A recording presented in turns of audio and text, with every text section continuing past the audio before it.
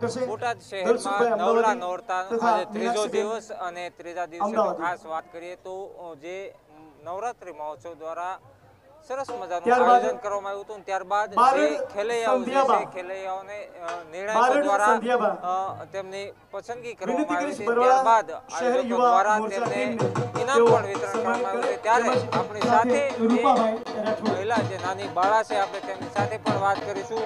તેમને આયોજક દ્વારા નવરાત્રી બેટા શું નામ છે તારું? દ્રષ્ટિ. દ્રષ્ટિ આજે તું અહીંયા રમવા આવી હતી. કેવું લાગ્યું? શું કહેશો? મને ખૂબ જ સરસ લાગ્યું. આવું દર વખતે આયોજન હોવું જોઈએ.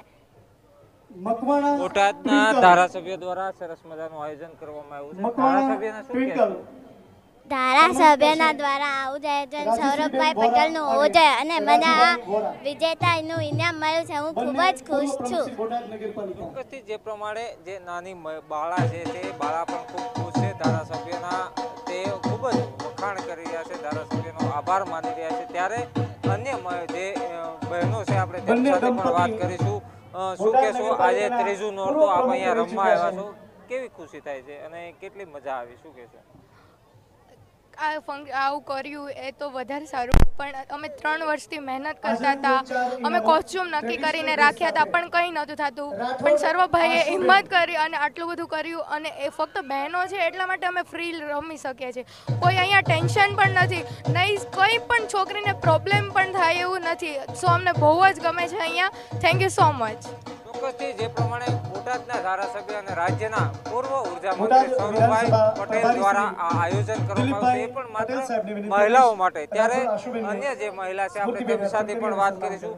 શું કહેશો? આજે ત્રીજા દિવસે આપ અહીંયા રમવા આવ્યા છો? કેવું મજા આવે આખરે બે વર્ષ પછી કોરોના મહામારીના પછી સૌરભભાઈ પટેલ દ્વારા બોટાદના હાઈસ્કૂલમાં આ નવરાત્રિનો પ્રોત્સાહન રાખવામાં આવેલો છે. તો સૌરભભાઈ પટેલને એટલું જ કહેવામાં આવે છે કે આવો ને આવો પ્રોગ્રામ દર વર્ષે કરતા રહે. અને આજે ત્રીજું નોરતું છે તો મહિલાઓ ખૂબ મોટી સંખ્યામાં પોતાનું પ્રોત્સાહન આપી રહ્યા છે અને તેમને મહિલાઓને ઇનામ દ્વારા પ્રોત્સાહન કરીને આપેલે છે. સૌરભભાઈ પટેલ એટલું જ કહું છું દર વર્ષે આવું ને આવું કંઈક આગળ ને આગળ કામ કરતા રહે અને પોતે આગળ વધે. ધારાસભ્ય સૌરભભાઈ પટેલના જ્યાં જુઓ ત્યાં બિરદાવવામાં આવી રહ્યા છે. જે મહિલાઓ છે તે ધારાસભ્યના વખાણ કરી રહ્યા છે. આભાર જે મહિલા સિંગર છે તેમના દ્વારા જે અન્ય જે મહિલા છે. તેમની જે પ્રમાણે બોટાદ શહેરમાં આજે ત્રીજા દિવસે જે નવરાત્રિ મહોત્સવ જે ધૂમધામથી ચાલી રહ્યો છે ત્યારે જે મહિલાઓ જે છે તેમને ઇનામ વિતરણ કરવામાં આવ્યું છે અને હાલ હવે હું મારા સહયોગી રાજેશભાઈ બારૈયા જે છે તેમની સાથે વાત કરીશું. આપણે